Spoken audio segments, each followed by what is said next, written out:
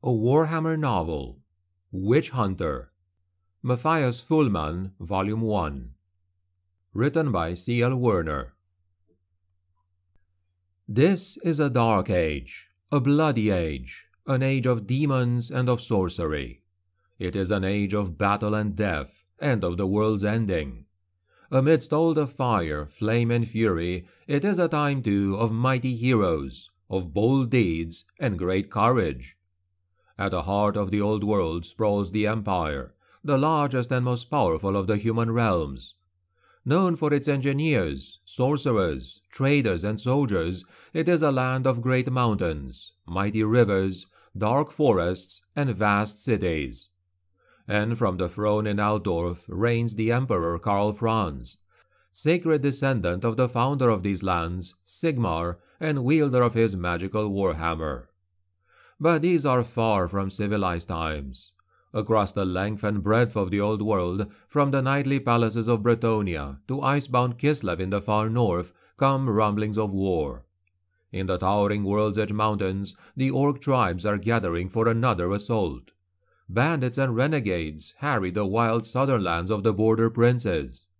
There are rumors of Ratfangs, the Skaven, emerging from the sewers and swamps across the land and from the northern wildernesses there is the ever-present threat of chaos, of demons and beastmen corrupted by the foul powers of the dark gods. As the time of battle draws ever near, the Empire needs heroes like never before. Prologue Dark thunderheads rolled across the sky, drowning out the light cast by moon and star, their brooding grey substance taking on the hue of blood where the last feeble rays of the dying sun struck them. Beneath the clouds sprawled a landscape no less sinister and menacing, no less redolent of dark powers and the malevolence of the night. Once, the sprawl of wreck and ruin had been a city, the jewel of the Ostermark, a place of such wealth and power as to rival even great cities like Altdorf and Marienburg eclipsing even the majesty of the mighty river which flowed beneath its gates and past its straits. But such glories were now part of the past, destined to never return. The vibrant cityscape had been crushed and broken. Naked beams blackened by fire clawed at the dark sky like lost souls reaching up from the pits of Cain's hell. The once steaming streets were now deserted and desolate, choked in rubble and debris and the sorry remnants of the unburied dead. Marble fountains spat foul black water into weed-choked basins.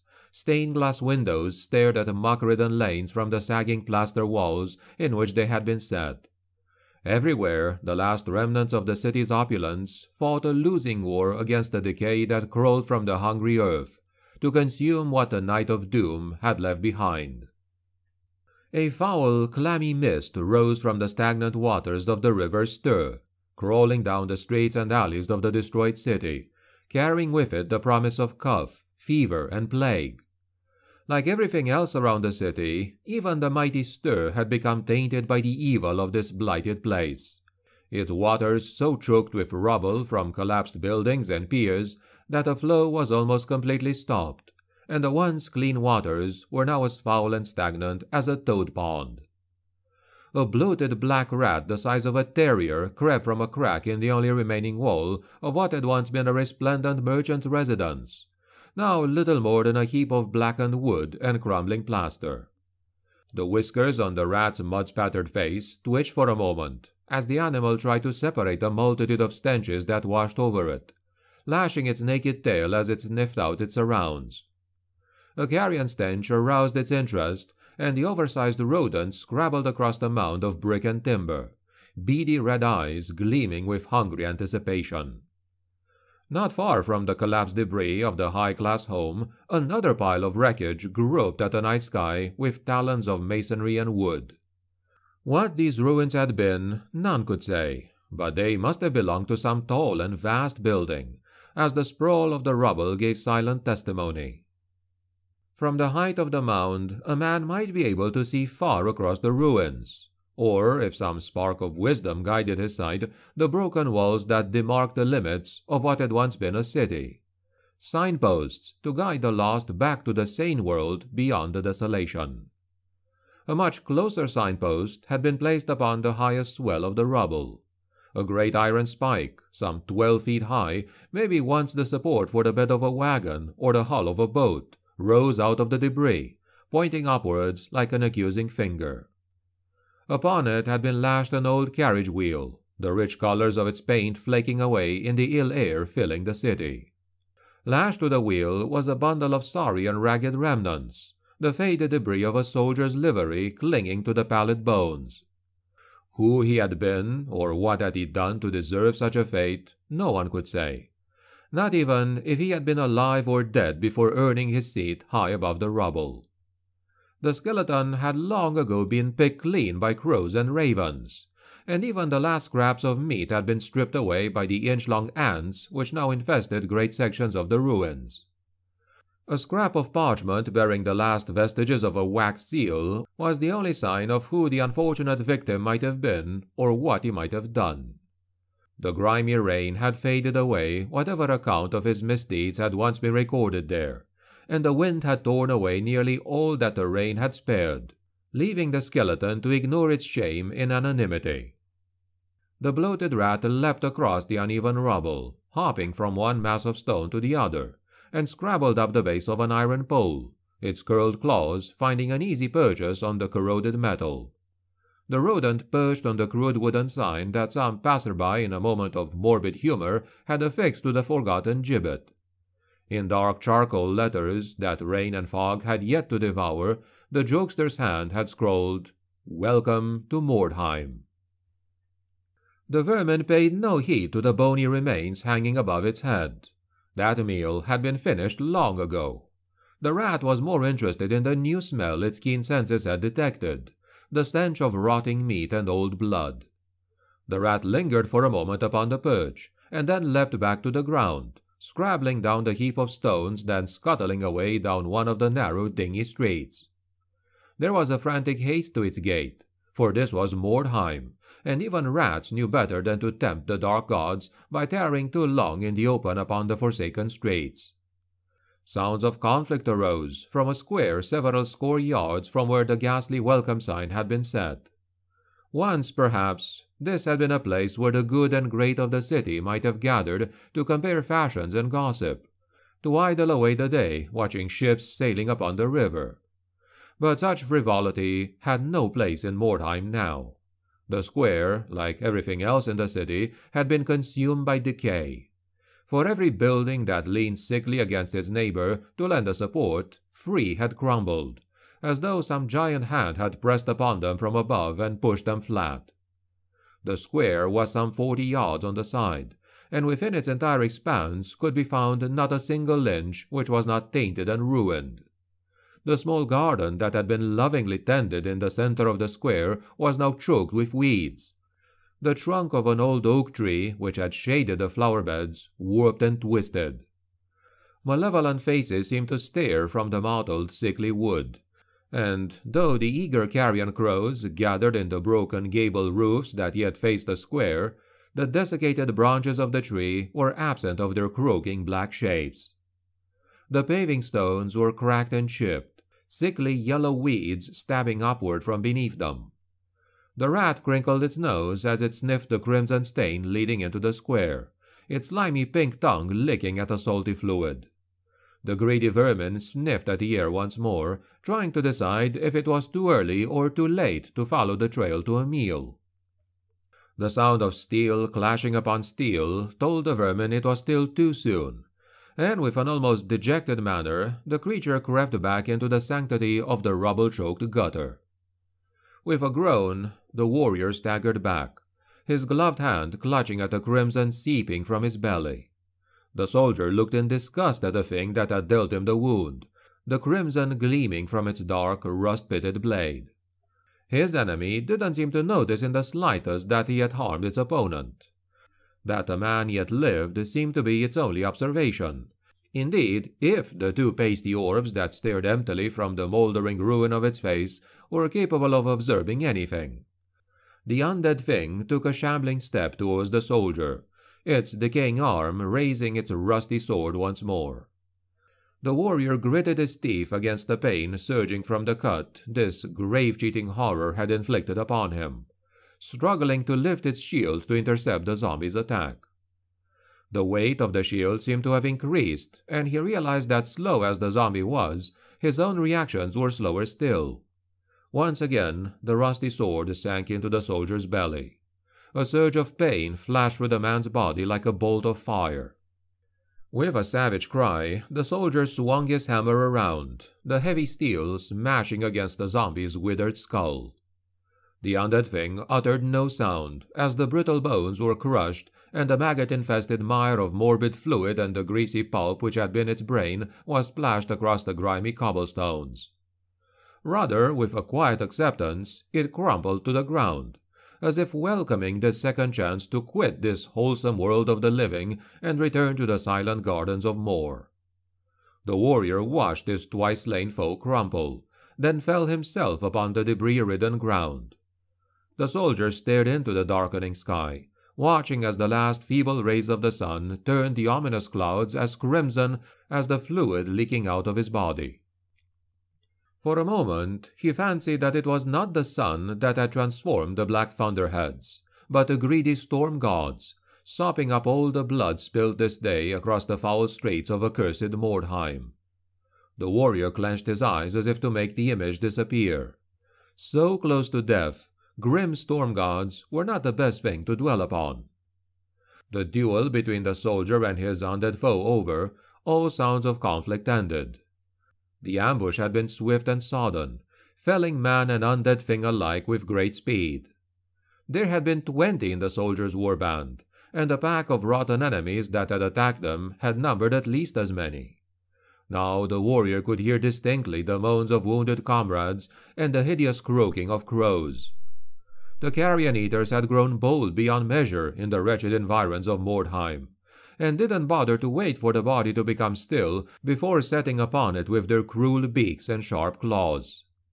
Nor did they retreat any great distance when their mangled meals summoned up the strength to swat at them with maimed arms and bleeding stumps, hopping away only far enough that they might savor their wretched efforts with some assurance of impunity. The birds would then return to their loathsome repast, and no cry of wrath or pain or mercy would cause them to cease their labor. The soldier clutched at the wound again, this time not to quench the flow of blood, but to encourage it. With the horrible scavengers cawing and croaking all around him, death could not come soon enough. The sounds of the crows grew agitated, and then to the soldier's dimming senses came the sound of boots rasping across the unclean cobblestones. The warrior tried to turn his head, to see who was walking towards him, but found that the effort was beyond him. It didn't matter. Whether friend or foe, there was little more that could be done to the veteran swordsman now. So, a cold voice spoke from somewhere near. This is how it ends. The voice was hard and imperious, a slight lisp twisting every consonant into a sneer. It was a voice the soldier had heard before, a voice he knew well. Though he couldn't see who was addressing him, the soldier knew who it was. Somehow, it didn't surprise him. If anyone could have emerged from the horrible ambush alive and unscathed, that man would have been witch hunter captain Helmuth Klausner. The boots rasped across the cobblestones once more.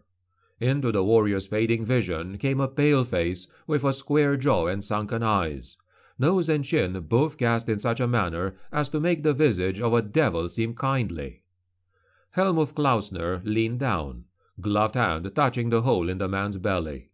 The soldier grimaced in pain, amazed that such a sensation could still intrude upon the darkness obscuring the other senses.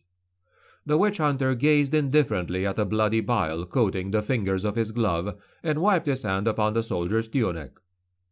All these weeks, all these weeks of cat and mouse, lurking within these unhallowed ruins, and finally it comes to an end. Helmuth's tone was almost regretful. All these long weeks, stalking and hunting, not knowing for certain who was hunter and who was prey. And now. The witch hunter allowed himself a slight chuckle. Now it comes to this.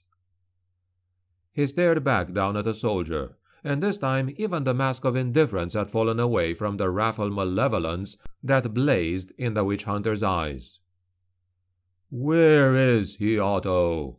Helmuth demanded, his words so short and rapid that even their normal lisp was clipped. You have seen him. He was here. Otto stared into the gruesome countenance of Helmuth Klausner. Once, that face had cowed him, had broken his will with terror and fear. But no longer. He was beyond the reach of even Helmuth Klausner now. The one the witch hunter hunted would see to that. A slight laugh bubbled its way from the dying soldier's throat. Damn you! Otto gasped.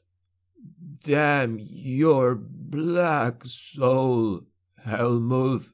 May, may the dark gods May they know you for one of their own. Helmuth Klausner glared at the dying man as he cursed the witch hunter. A cruel smile split the Templar's harsh features. Swift as a striking serpent, he stabbed the soldier deep in the chest with the long silver dagger that he was carrying. Otto gave voice to a gurgled rattle as life fled out of him. I'll not be seeing them for some time. Klausner sneered down at the corpse. Not until my work is done. You might tell them that when you see them. The witch hunter rose from the carcass, eyes surveying the carnage around him. The ambush had been a costly affair, but he didn't lose anything that he couldn't replace. Swords were more plentiful than grain in the vicinity of Mordheim, and hands to wield them even cheaper. His prey might have escaped him this day, but it would not elude him forever.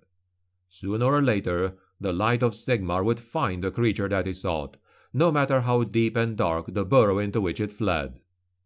Helmuth suddenly became aware of a perceptible chill, a fell odor upon the air. It was a stench of corruption rather than decay or death, the stink of evil, twisted and inhuman. The crows rose from their loathsome meals, cawing in fright as they retreated into the shadowy garrets of the tumble-down guild halls. Slowly, the witch hunter turned to face the source of the taint. It stood within the shadows cast by that great malformed oak, a tall figure clothed in black. The vestment of the creature was ragged and frayed, the once elegant material torn and dirty, hanging loosely about a figure grown too lean to properly fill it. Thin, pallid hands hung from the sleeves of the robe, the once elegant cuffs shorn away. A large gold ring dominated the finger of one of its hands, held against the shriveled digit of a crude iron nail, a spike driven through both jewelry and the finger bone beneath. Helmuth smiled as he saw the ring. Any question as to the identity of the adversary vanished at last.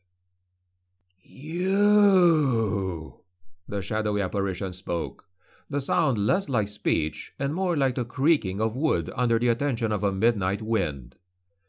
And I. Things have ended much as they began so many years ago. The figure strode forward, the pale, sunken face revealed in the fading twilight. The flesh was beginning to flake and peel, blotches of black necrotic skin marring the dead pallor. Great incisors, like the fangs of a rat, pushed apart the shadow's face, spreading apart the bloodless white lips. The only color in the face was contained in the two fiery eyes gleaming from the sunken pits which flanked its decaying nose. The eyes stared with a lifetime of hatred and fury upon the figure of Helmuth Klausner burning with a perfection of hatred that no human could ever hope to emulate, at least not without collapsing under the strain of containing such malice. Helmuth Klausner nodded his head slightly at the monster, drawing the sword sheathed at his side. Indeed, Sigmar could not allow such a thing as you to profane this world with your puerile mockery of life.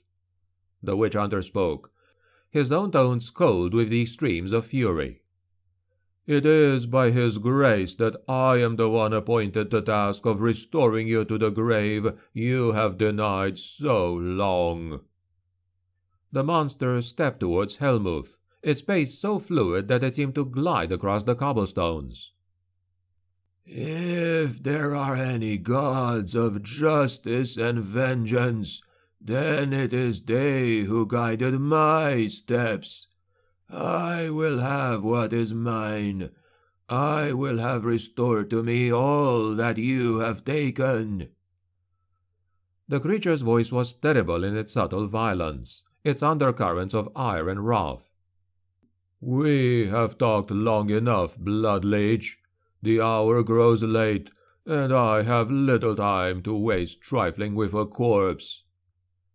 Helmuth Klausner advanced towards the shadowy figure, his sword held before and across his body. The shadow drew its own blade, gliding forward to meet its foe. The dull, subdued tones of an incantation slithered into the quickening night. As they did so, the corpse of Otto began to twitch with unnatural life.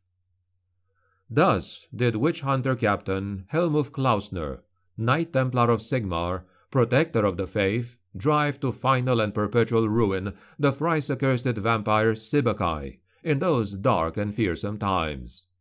Upon the streets of foul benighted Mordheim did he bring the wrath and judgment of holy Sigmar upon that foul undead abomination. Or so say the histories written of those distant days.